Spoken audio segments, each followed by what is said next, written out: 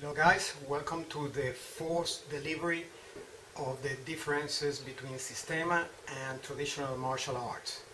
Today I'll be discussing about the fourth principle of the fourth Systema pillar or Systema fundamental which is structure, also known as the form. Okay, there is a one essential criteria that needs to be met for the Systema form of semi-structure and that is that it has to be natural. I have discussed it before in other of my videos. We're humans, so we would like to stand then in a human-like natural way, which is standing straight. All right. The other uh, criteria that needs to be met is that have to be compatible with all the other Systema pillars in terms of movement, in terms of relaxation, and in terms of breathing. When we are standing straight, we can breathe comfortably. Right? We can also move and transition from one direction to another direction in a seamless and a relaxed, natural way. When, our, when we're standing in a balanced position, we are also uh, more, uh, more able to relax. Okay? Uh, the structure or the form also have to meet three components, which is stability, movement, and balance. Okay? When we talk about stability, that means that we can position ourselves in a way that we're not going to trip, that is no dangerous to us, and that we can move and transition from empty hand into all our other weapon system in a safe, seamless, uh, and intuitive way. Um, when we're in balance, then it's also less likely that we're gonna that we're gonna fall out of our feet, and that we can transition as well from one direction to another without having to shift our way uh, to, to evidently because that takes time. Um, so uh, I'm going to stand a little bit further away so I can uh, uh, show the whole body into the camera and I will have to speak a little bit louder because I'll be farther away from the microphone. All right? So if I stand here, right, the, the, the essential the points then will be you know, standing in a, in a, in a natural way, human way like, with our uh, shoulders aligned with our hips, you know, with our weight distributed uh, in an even way between our feet. We position ourselves in, a, in, in an angle. This way, if any blow is thrown at us, then it's more likely that that impact is going to deflect, while if we're standing a straight way, then it will be perpendicular to us. So 90 degrees, will, take, will be taking the full blow.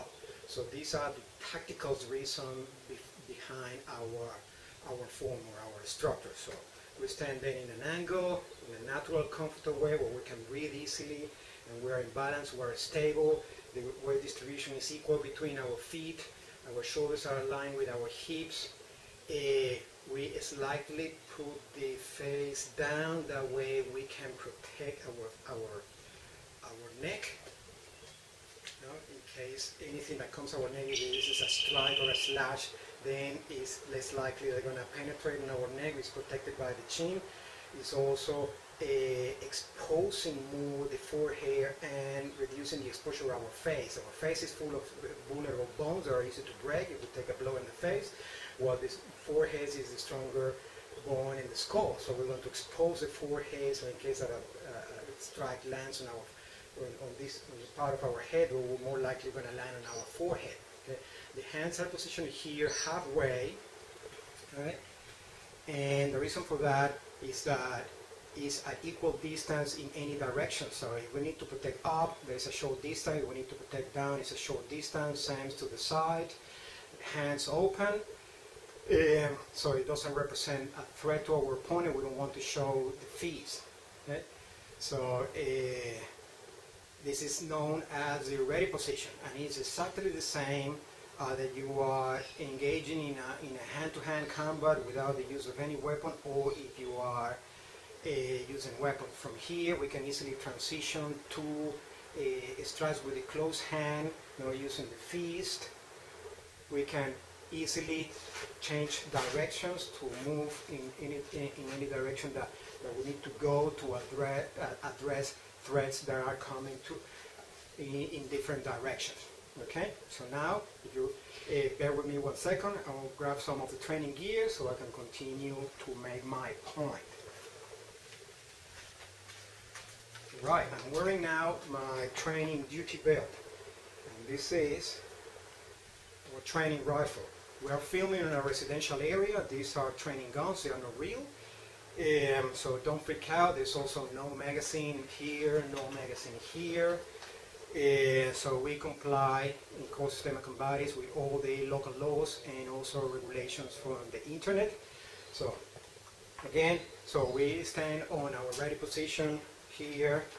No, we're ready to engage on an empty-hand combat, but when we need to transition to any of other weapon systems, this transition happens seamless, seamlessly and intuitively. Okay, just by you know, having a hold of our primary weapon, we uh, uh, slightly bend our knees a little bit more. We tuck uh, the hip uh, further in to compensate the weight of our equipment, and then in this position we are ready to engage uh, with our firearm, with our primary weapon. Um, from here, you know, same same reasons, we can uh, comfortably and safely and stably uh, walk you know, with the firearm. Okay? And from there, we can also change direction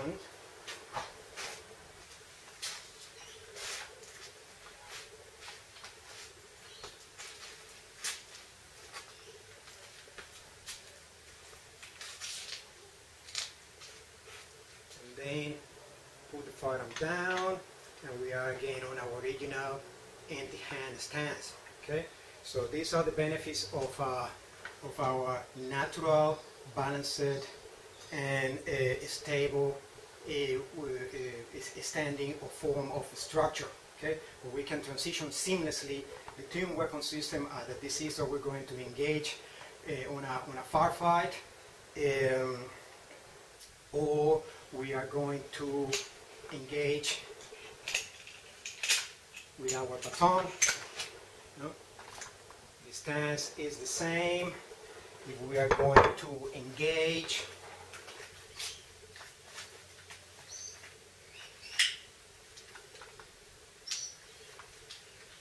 on a knife confrontation, the transition between equipment is always seamless, always intuitive, and safe.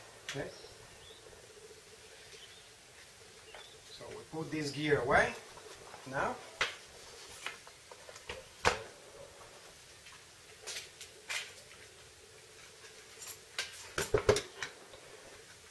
Now we can discuss what's the difference there between that natural, balanced, and stable uh, structure or form from Systema that is fully compatible with all the weapon systems and also uh, compatible with modern weapons and tactics, tactics employed by most law enforcement agencies and military around the world with traditional martial arts.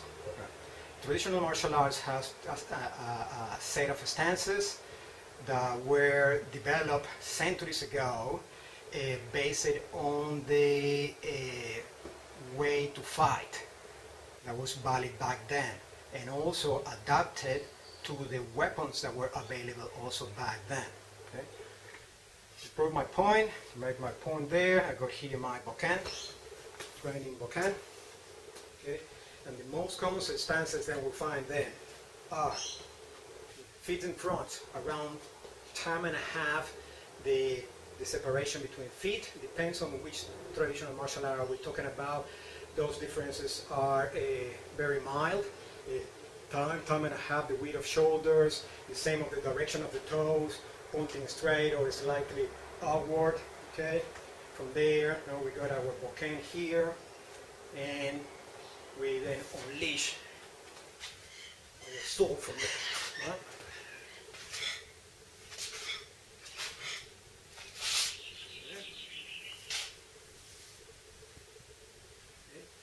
the stance then, it was when the toes pointing forward here, the rear foot pointing back there.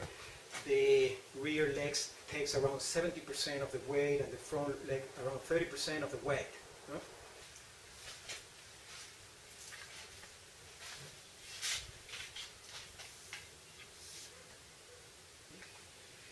Another stance is the horse stance. Now it's very common as well, with the weight is equal in both legs, around time and a half the width separation. huh? And this is more used with empty hand techniques. Okay. What is the issue with these traditional stances? Okay? As I said at the beginning, these stances are not compatible with modern weapons and tactics because they were developed a long time ago based on different different uh, uh, battles or different ways to wage war and the weapon system that were valid back then. There were swords, spears, uh, bows and arrows, and etc. Okay?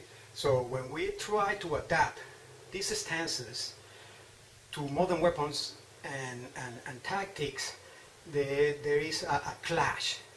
And there is a saying that we use in the industry in Spanish that goes something like, eh, la duda es la madre de todas las cagadas, which translates in something like, hesitation is the, is the mother of all fuck-ups. Please excuse my core language, but this is an age-restricted video anyway, so if you are under 18 years of age, you shouldn't be watching it. Um, so yeah, so when we try to adapt something that is not uh, incompatible with web, uh, modern modern times, modern type, modern type of violence that we find on the street or in the battlefield if you are in the military, um, there is an incongruence there that will conflict with our with our way of thinking. So the problem here is that when you are trained to to, to fight with empty hand in a particular way, and then you have to move to a, another weapon system, in this case a firearm, and you have to adopt a different stance, a different way of move, then there is an incongruence there. And if you try to mix and match, and then you say, okay, I want to train empty hand combat from this uh, martial arts, and I'm gonna uh, uh, mix it up with, with, with, with, the, with the baton or, or, or the stick from a different martial arts. We also have different stances. This is not only more time consuming, but also create, it creates even more confusion in the practitioner. So this uh, uh, becomes critical when makes the, the, the, the individual to hesitate. When you hesitate in this industry, in law enforcement and the military, is when people get hurt. Either this is yourself, your colleagues, or innocent people. So this is the, the reason or the main reason why we have to remove hesitation and remove the way to remove hesitation is by having a fully uh, seamless uh, system that can uh, operate empty hand or with all the weapon system without interruption, without disruption. Systema is a, it, it has evolved into this, while traditional martial arts have not. They are still doing the, the things the same way that they did centuries ago, and then they try to forcefully uh, educate uh, modern uh, tactics and try to train law enforcement and to convince them that what they learn can be used. And yes, it can, but it have to be forced in. It's like trying to fit a square into a circle.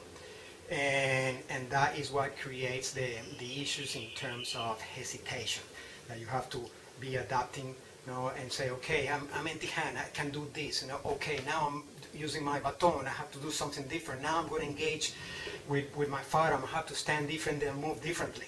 Okay in Systema you can move the same way either you are operating your, your, your firearms or you are working with the baton or you are engaging in an empty hand uh, uh, combat uh, the same way. It, all across the board is the same. From that balanced position, you can deliver kicks in any direction without committing, without losing your balance, without messing up with your, with your, with your stability. So so this is the, the, the, this is the, the big issue, you know, when you when the difference between a, Systema and traditional martial arts form or structure. It, it creates it creates an incompatible mess between weapon systems. Right. I hope that clarified uh, one of the uh, of the major differences on our fourth pillar between Systema and traditional martial arts. Uh, if you have any questions, put it on the comments below and I'll be more than happy to reply. Uh, you know, share, comment, like, and we will continue making more comparisons because they're getting very, very popular. There's a lot of, of, of things to share out there. And this is the fourth delivery to close this series, which was based on the four system of pilots compared to all the traditional martial arts. But we'll be making more comparisons like how we uh, uh, Eh, punch in Systema compared to traditional martial arts, how we kick in Systema compared to traditional martial arts, how we take blows eh, in Systema compared to traditional martial arts. So stick around and I will see you next time. Bye-bye.